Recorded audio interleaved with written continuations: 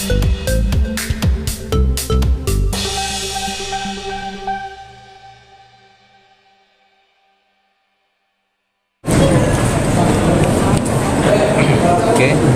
hari ini eh, Rabu 15 Juni kita setelah menindaklanjuti arahan dari Polres Cirebon itu eh, tentang pengaduan kita bahwa adanya dugaan memberikan keterangan yang tidak benar ya, Eh, kemudian rekayasa eh, penetapan tersangka khususnya klien kami Tatal ya.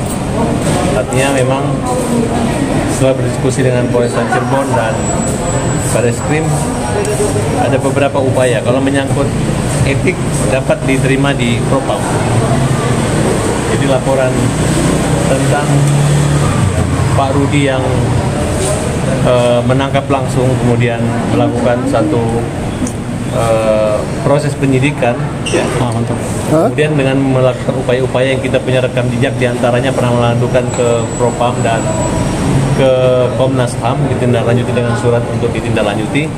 Oleh karena ini selama ini belum ada tindak lanjutan kami meminta kepada Ba- Baris Krim ya walaupun dari hasil di Baris Krim saat ini mengatakan adanya dua provinsi wilayah lokus yang berbeda mungkin akan diarahkan ke Polda Jawa Barat. Nah, tapi surat tanda terima pengaduannya sudah kita sudah diterima oleh uh, Baris Krim. Jadi apakah mekanisme ini kami yang membuat laporan sendiri langsung di Baris Krim atau Baris Krim yang mendelegasikan kepada Polda Jabar? Dan menurut keterangan dari Baris Krim maupun dari Propam mereka sudah turun langsung juga untuk dan mereka mengapresiasi laporan ini sehingga kita minta adalah keadilan.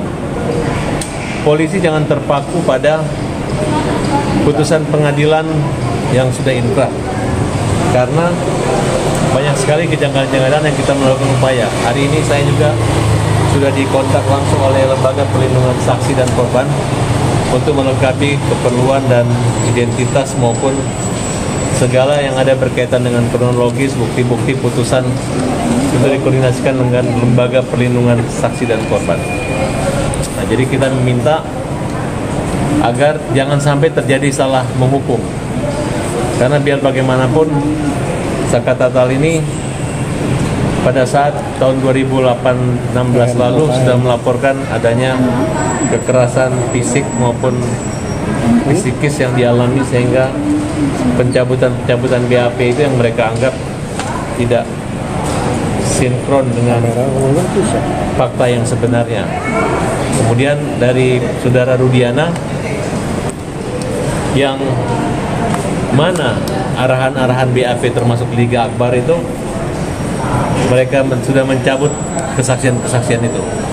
Nah, kemudian dalam waktu dekat ini juga kita akan melakukan upaya peninjauan kembali. Nah, di mana salah satu yang kita butuhkan adalah adanya laporan-laporan terhadap orang-orang yang mencabut laporan itu. Sebaiknya pihak Baris Krim maupun Polda maupun Polresta untuk menindaklanjuti. Nah, kalau dianggap perintangan bagi kita yang merintangin penyidikan adalah pihak-pihak penyidik yang tidak profesional eh, membuktikan adanya CCTV, kemudian membaca visum hasil otopsi. Nah, kemudian mereka membuat satu pernyataan-pernyataan dalam berita acara bahwa telah terjadi pembunuhan dengan luka tusukan dan akibat kematian samurai dan lain sebagainya. Ternyata dalam visum itu tidak ada luka atau tusukan.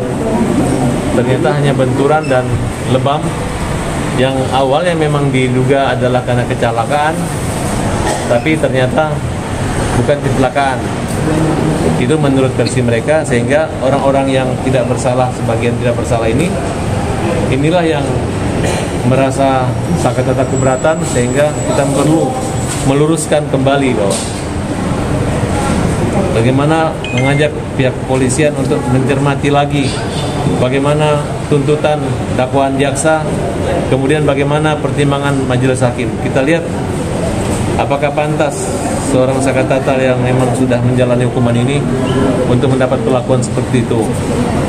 Ya memang saya lihat ada beberapa kejanggalan di dalam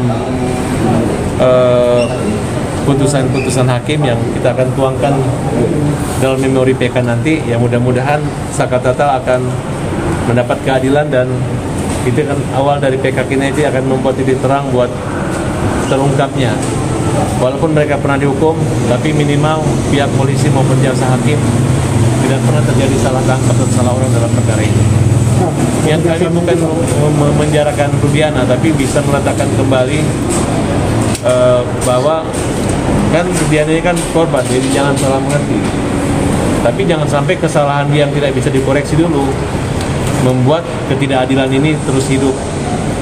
Ya kalau memang mereka pembunuhnya mungkin udah pantas mendapat hukuman sebesar itu. Tapi kalau bukan mereka yang membunuh ya berarti masih ada masih ada waktu untuk mengungkap kembali melalui CCTV atau orang-orang yang dicurigai atau orang-orang mungkin yang DPO itu mungkin. Saya nggak tahu DPO itu saya yakin Rudiana ketika menetapkan DPO itu dia sudah pernah tahu KTP maupun rumah orang itu.